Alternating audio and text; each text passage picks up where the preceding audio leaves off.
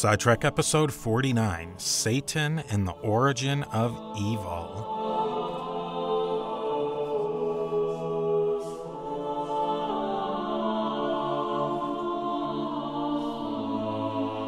Welcome back to A to Z History Presents The History of the Papacy. The History of the Papacy podcast is a proud member of the Agora Podcast Network. We are a group of independent podcasters. Our goal is to create thought provoking and high quality podcasts. The Agora Podcast Network show of the month is Dominic Perry's History of Egypt podcast. Dominic is an Egyptian history scholar who creates a vivid retelling of the vast history of Egypt.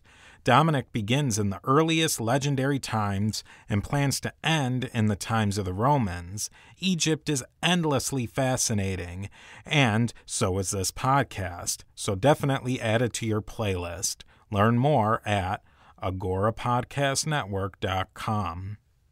If you have ever thought of supporting the show, Patreon is a great way to do it. Different levels of support have unique rewards, so definitely check it out. Today, we welcome new Alexandria level patron Chris. I give you my sincerest thank you. Thank you so much for joining. And as usual, thank you to our Constantinople level patrons Regan, Sandy, Andy, Paul, and Dr. Jeff.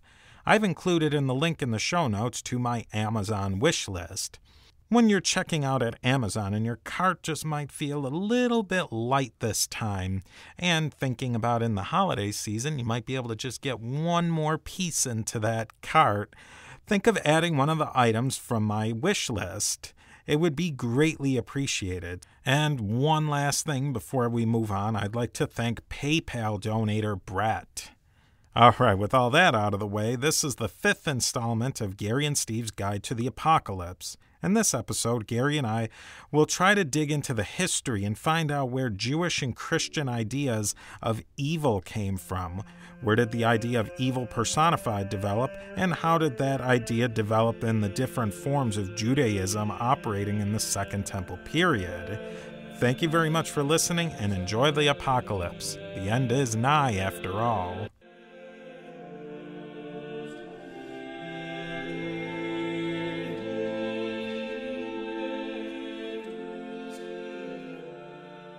The apocalypse always seems to be shaded in evil.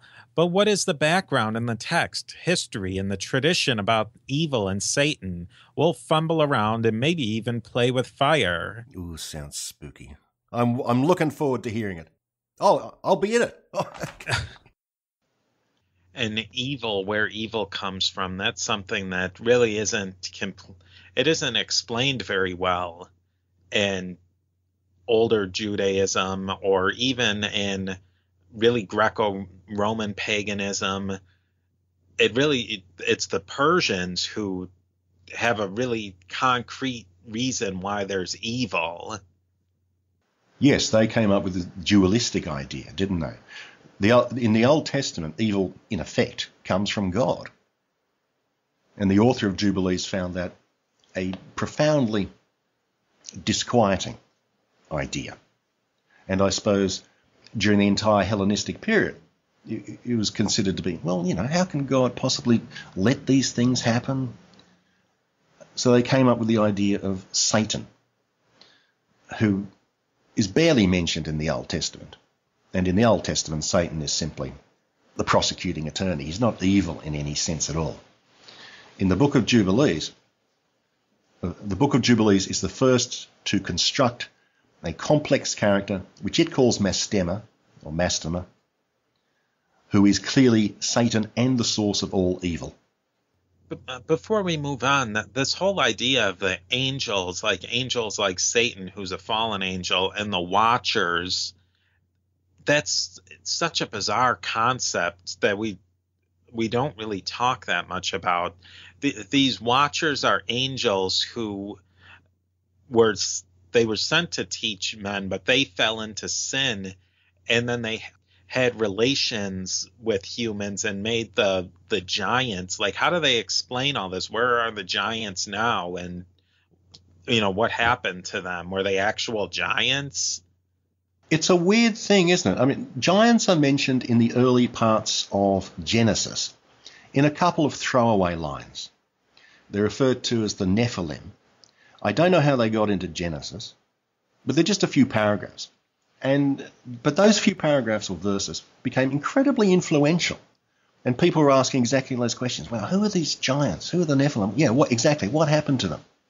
And they expanded into a whole major theology, whereby both in First Enoch and in Jubilees, the concept that angels mated with men and produced, I suppose, hideous hybrids becomes quite a common concept.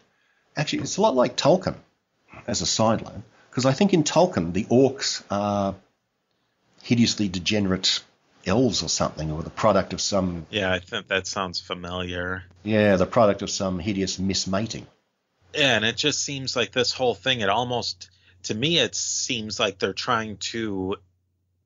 They're trying to explain maybe folk beliefs or holdovers from maybe a type of paganism, maybe that they're trying to explain away. I, I think you're quite right there. From my understanding, demons were quite a common concept in Canaan and the surrounding areas. And from what I remember, demons appear quite a lot in, say, Babylonian and Assyrian mythology. Mm-hmm. So the concept of these sort of sub beings who do bad things was certainly around.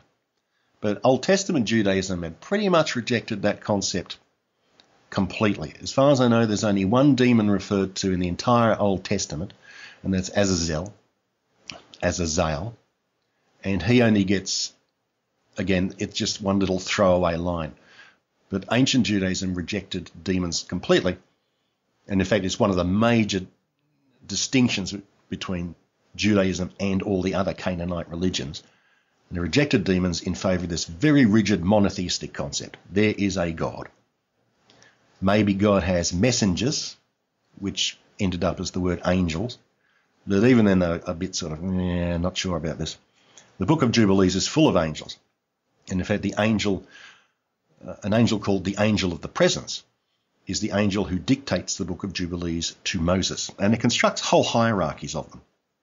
It doesn't name angels, so there's no sort of Gabriel or Michael named, but they are described by rank. So, you know, like um, the cherubim, seraphim, and uh, principalities and thrones, which the medievals came up with. They're all in Jubilees. The only angel in Jubilees who gets his own name is Mastema, also known as Satan. So it's interesting to me that Judaism, Old Testament Judaism, had rigidly rejected angels and demons and all that sort of stuff, but they crept back in.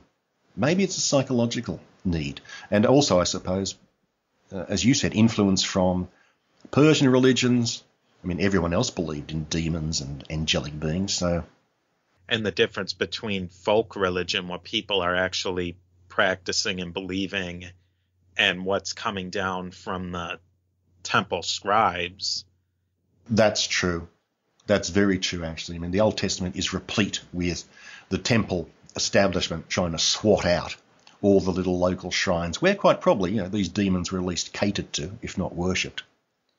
So to be like, I suppose, modern folk beliefs, a lot of churches have difficulty getting rid of, you know, weird superstitions and saying, no, no, we don't actually believe that, right? It's just a story.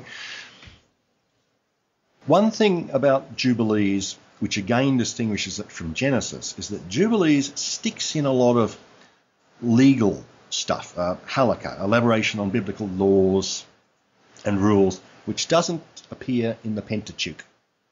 For example, when it's talking about Abraham, uh, Jubilees 21, Abraham is uh, talking to Ishmael, and Abraham decides to give a little lecture about women.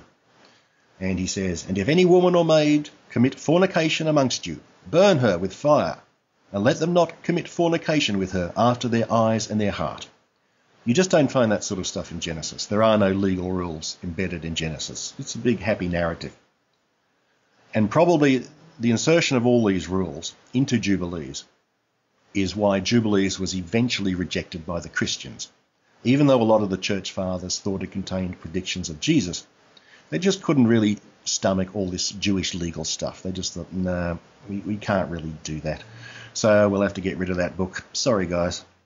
The at that point was Judaism beginning to develop that concept of the law of a, other books that are an interpretation of what was said in the Pentateuch or Leviticus, etc.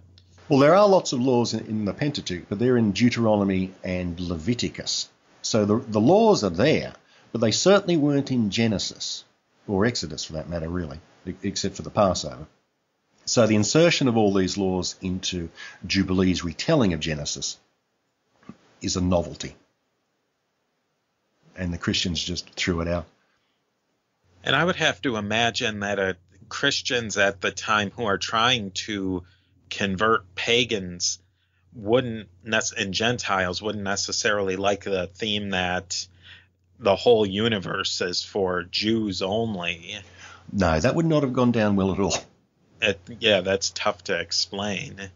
Yes, you'd have to do a lot of twisty turny theological interpretation for that one. Not, of course, that that stopped other concepts. so maybe if someone had thought really, really hard about it, they could have done it, but maybe it was just too hard. And I thought, nope, it's too clear. It says that the universe was created for Jews alone. No, we can't work our way around this one. And then the whole idea of this um, lunar versus solar calendar. Is there any evidence in there? They must have had pretty sophisticated methods for observing. I suppose someone worked out that the solar year was around 360 days or whatever. Jubilees decided it was 364 days in the solar year because that's the only way you can get a nice even number and have 7 times 52, 50, exactly 52 weeks in the year. I'm not quite sure if they absolutely knew that the solar year was 365 and a quarter days long, or they thought, yes, it really is 364 days long. But it was certainly known I, th- I think the Mesopotamians or one of those civilizations had a pretty accurate solar calendar. Yeah, that could well be. And the Greeks may have come up with one too. Well, I don't know that much about ancient calendars. There certainly were a lot around.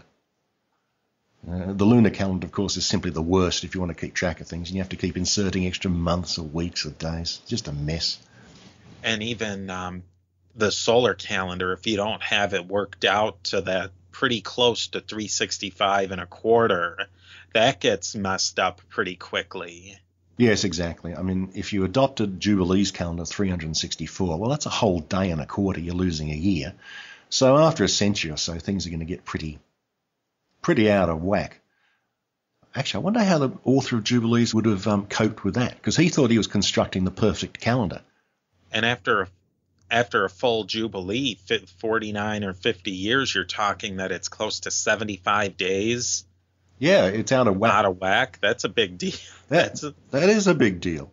I don't think Jubilees copes with that at all. He just assumes that the year is 364 days long. Oh, it would have so upset him. He would have been absolutely panic stricken, I think, if he, if he'd thought that, because he's come up with this perfect theological concept of 364 days. And then if he, if he if he actually survived his own calendar and lived into old age, he'd be going, hmm, it's meant to be winter now. Yeah, and it's the my calendar's two and a half months off. That's right.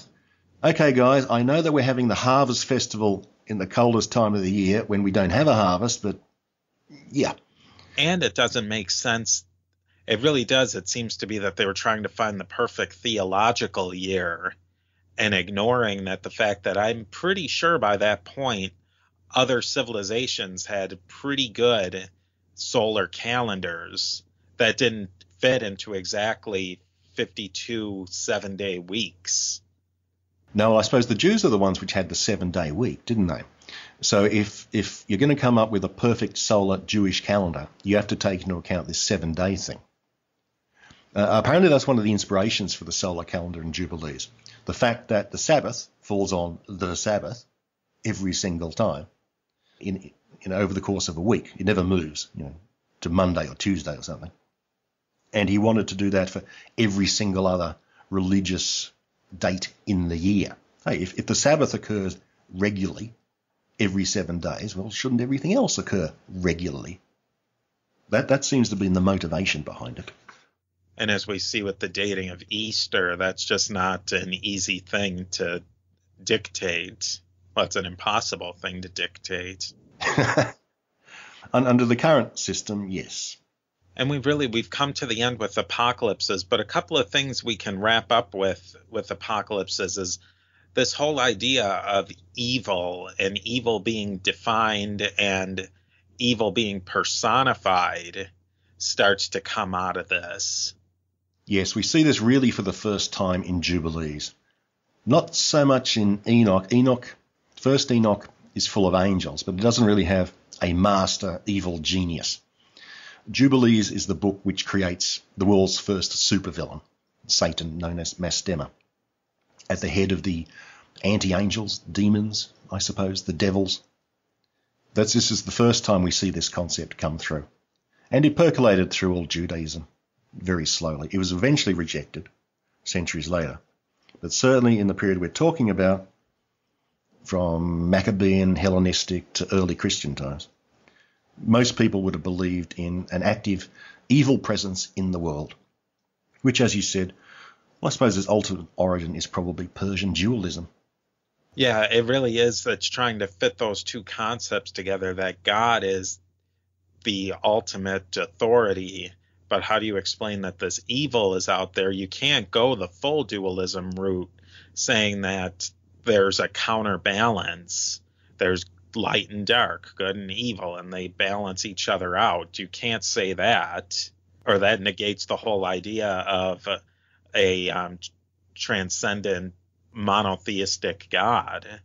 Yes. Basically, Jubilees inserts Satan into all the tough to explain and unpleasant incidents in the Bible. For example, when Abraham is about to sacrifice Isaac in the Old Testament, of course, it is God who has said, you know, go and kill your own son, and then rescues Isaac at the last minute. The author of Jubilees says, no, that's impossible. How could God have, you know, tried to do that? So he inserts Satan into that incident and says it was Satan making Abraham sacrifice Isaac. Or another example, there's a very strange incident in Exodus chapter 4 where God tries to kill Moses. Absolutely inexplicable. It just, it's just a little paragraph, a couple of verses, where God tries to kill Moses. No one's ever really been able to explain it. What on earth is going on? But the author of Jubilees explains, he says, ah, this is Satan actually trying to kill Moses.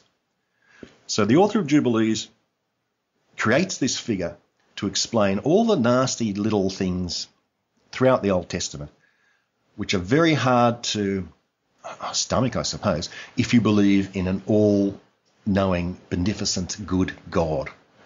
But when, you have Satan doing all these things, easy, easy solution. And then it gets even more complicated to explain when in the in the gospel narratives that God's tempting or that the devil's tempting Jesus, if Jesus is fully God, how is he possibly really get tempted? That's a good point. I hadn't thought of that. And there's different explanations to that that um, you know in future episodes we'll be able to ex- we'll talk about further. But that's a big one that I think that's an instant one that makes you think that how can how can there be temptation like that when in fact how could god actually be tempted? Yes he should be utterly untemptable well i suppose that's the human divinity fusion thing happening. But actually that incident would, would have fitted perfectly into jubilees. That, that's how jubilees would have written it as satan tempting jesus. That comes straight from the tradition the literary tradition exemplified by jubilees and that to me uh, just um, in all these episodes and how you know talking about this for reading about it and then talking about it for several hours that these books that even though they really truly are apocrypha they're hidden and that they're they've dropped all sorts of little seeds all throughout the history of Christianity and Judaism that are sprouting up but aren't we don't really necessarily know where they came from. and a good a good example of that is actually in the New Testament itself, where those sections that we were talking about about Jesus being tempted by by an evil force or uh, traditionally believed Satan. That just there's no like even as a literary concept, the person doing the tempting in those passages and Mark, etc that character is not even introduced. You get the feeling that the the character of the evil one or Satan or whatever you want to call it, it's just assumed that the reader knows where that character is coming from. Yes, there's no origin story in the New Testament, is there? Uh, but in fact, Satan would have been a, a common concept at the time, just just like he is now you don't have to explain him. Everyone knows, you know, even vaguely about Satan. Although maybe a lot of people just thought he was the bogeyman or something like that. Yeah, but it says a lot that it's just in the in the narrative sense that it was felt that he needed no explanation, whereas the background story of John the Baptist was detailed pretty closely. And the, I mean, look at the background story of Jesus. They go through the 49 generations back to Abraham. So they felt that they needed to settle that up, but not that. The issue of Satan, that's that to me says a lot. That's a very good point. Yes, they had to um, set up this whole origin story for Jesus, explain all these sort of things. So obviously, the writers of the Gospels felt here is something our audience may not know. Whereas, yeah, Satan, well, everyone knows that. We don't have to explain it. Yeah, I mean, uh, when it boils down to it, those really aren't their narratives meant to share with other people.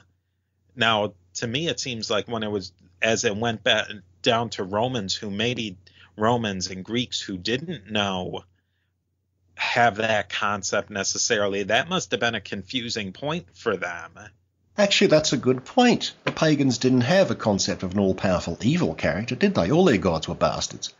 Yeah, I mean, like if you take uh, Hades or Pluto, he was a bastard, like you said. But yeah, I just think it's very interesting that this whole concept of evil, and it really doesn't play out in rabbinical Judaism to at any level as it does in Christianity. Yes, not at any level. Uh, Judaism reverted to a very strict monotheism, got rid of all the demons, got rid of evil as a personification. On the other hand, Christianity embraced them. Revelation is a strange and intriguing text where you read it and it doesn't make sense. Then you read it again and it really doesn't make sense. you read some commentary about it and it makes a little sense, but not really. Hopefully, we can make some sense about it, but then again, maybe not. Oy, oy, oy, and we'll hope you listen to it next time as we make some sense or not when we talk about Revelation.